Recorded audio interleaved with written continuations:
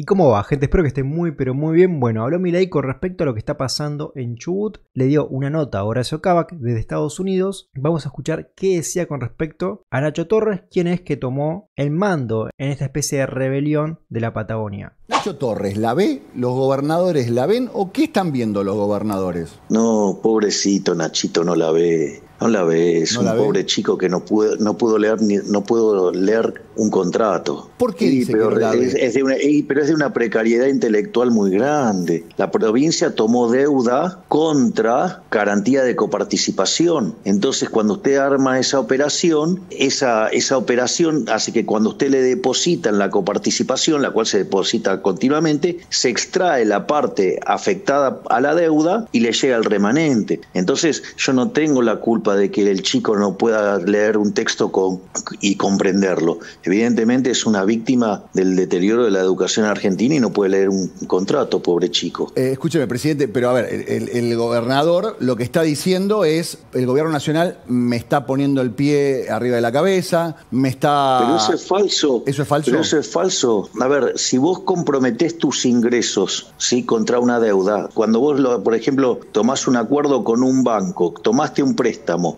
y vos ponés como garantía, digamos, que pueden tomar la plata de tu sueldo. Vos te vas a quejar porque, digamos, todos los meses te debitan de tu sueldo la cuota del crédito. Ah, por ahí puteo, pero no me puedo sorprender, digamos, porque es, una, es un compromiso que yo tomé. Es como si fuera el débito automático entonces, de la tarjeta de crédito. Funciona así, perdón, presidente, exacto. funciona así, es como el débito automático de la tarjeta de crédito. Exactamente, es eso. Entonces, eh, digamos, yo no tengo la culpa de que el pobre chico no esté en condiciones de leer pero un escúcheme una cosa, presidente, porque acá no fue solamente el gobernador de Chubut, salieron todos, prácticamente todos los gobernadores, hasta el jefe de gobierno de la ciudad de Buenos Aires, salió a apoyar al gobernador de Chubut. ¿Ninguno la vio? ¿Ninguno sabe leer un texto? Bueno, eso habla muy mal del resto de los gobernadores que apoyaron esa mentira del gobernador de Chubut. Lamentablemente quedaron expuestos, y es más, quedaron, todos los firmantes quedaron del mismo lado que Kichilov, que Quintela, porque en el fondo lo que están reclamando es que ellos no quieren ajustar y le quieren trasladar el ajuste al resto de los argentinos. Y nosotros estamos acá para defender a los argentinos de bien, no para de defender a los políticos runfla. Es fuerte la palabra políticos runfla. ¿Cómo llamaría a alguien que toma un compromiso con la de, por una deuda y después eh, decir no lo quiere pagar y, y, frente a esa situación le echa la culpa a otro. ¿Cómo lo definiría eso? A ver, yo me pongo.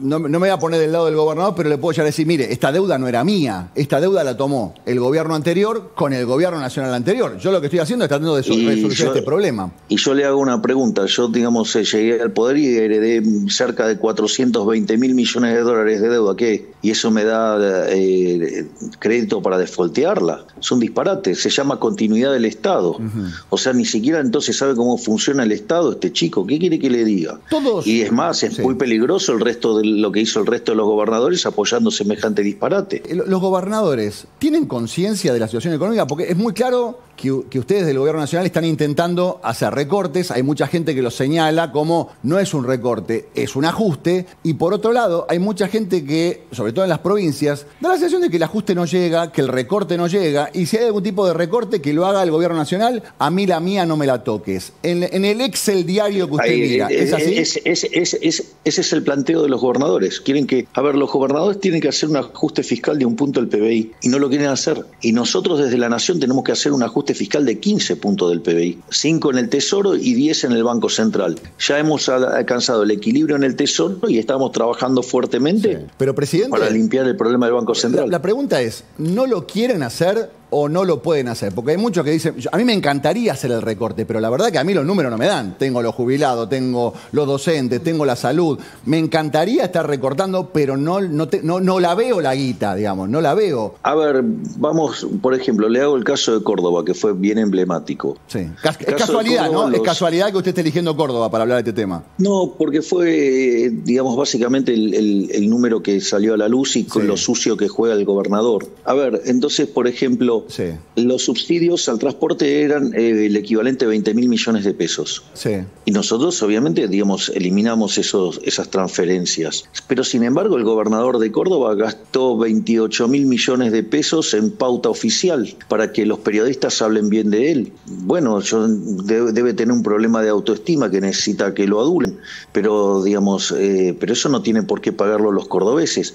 Y en lugar de ajustar eso o de ajustar eh, los festivales y demás, ¿sí? básicamente, ¿qué es lo que hizo? Decidió subirle las tarifas a, la gente mucho más que proporcional que por el monto del, del, subsidio y echarle la culpa, digamos, al gobierno nacional, lo cual es, un, es una falsedad. Es decir, ¿qué es lo que quiere decir? Que él no está dispuesto a ceder de ninguno de los privilegios de casta y está dispuesto a cargárselo a los cordobeses diciendo que es culpa mía.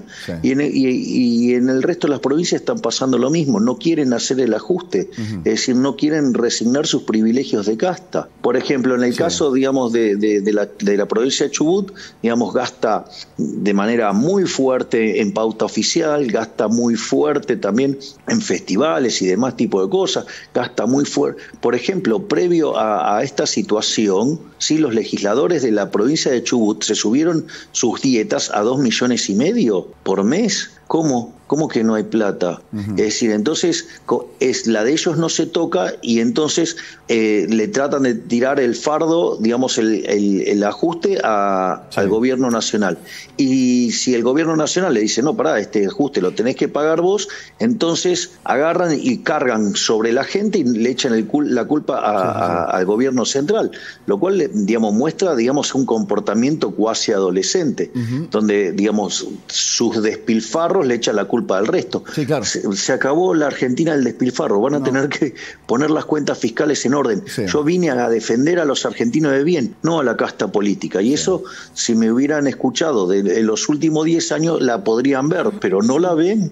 Bien, ahí lo teníamos. Muchas cosas podemos sacar de acá. Primero es que Nacho Torres, por lo que dice mi ley, apuesta fuerte a la pauta en su provincia y además en festividades. A ver, lo que quiere decir esto es que el tipo no quiere recortar eso. No solamente eso, perdón, sino también que se subieron su sueldo a dos palos que equivale a dos mil dólares. Hay lugares para ajustar, hay lugares para recortar, pero el tipo no quiere. Quiere que el gobierno le siga dando dinero, que ajuste mi ley, que todo el peso caiga en mi pero los gobernadores en su provincia no quieren asumir esa responsabilidad, no tienen los huevos para asumir esa responsabilidad. Es más fácil hacerse el cocorito, putear al gobierno por el ajuste que está haciendo, por los recortes que está haciendo, que es a nivel nacional, porque la inflación, si logra controlarla, es a nivel nacional, o sea, beneficia a todos los argentinos, estos tipos no les interesa, es más fácil pegarle y no hacer lo mismo, y no tratar de ajustarse y ver las herramientas con las que cuentan para llegar a cabo la gestión en un gobierno. No, esto quieren plata de arriba. Y este problema lo va a tener con todos los gobernadores o con gran parte de gobernadores que no se quieren ajustar, que no quieren tomar esa responsabilidad de asumir administrativamente lo que es su provincia. Le es más fácil hacer festivales, que se haga su cara, que en la televisión hable bien de él, pagar ¿no? todo esto con la guita de los chubutenses, pero no asumir las responsabilidades. Y la